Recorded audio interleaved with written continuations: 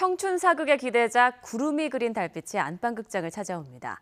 응답하라 1988의 박보검과 아역스타 출신 김유정이 호흡을 맞춰 기대를 모으고 있습니다. 윤현숙 기자입니다.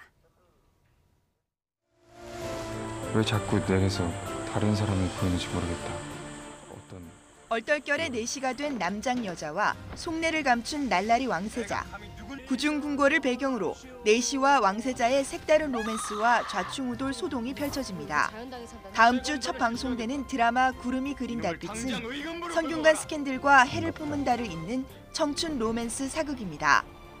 박보검이 주인공 왕세자 이영역을 맡았고 명품 아역 꼬리표를 뗀 김유정이 남장 여인으로 성숙한 매력을 뽐냅니다. 청춘 테라피라고 말하고 싶은 게 드라마를 보면서 많이 힐링하시고 또 용기도 얻- 얻으시고 위로를 받으셨으면 좋겠다는 마음으로 촬영에 임하고 있습니다.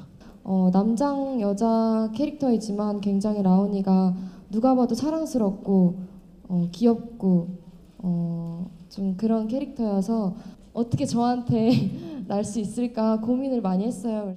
비운의 인물 효명세자를 모티브로 한 동명의 웹소설이 원작인데 가볍지만은 않게 캐릭터와 줄거리를 바꿨습니다.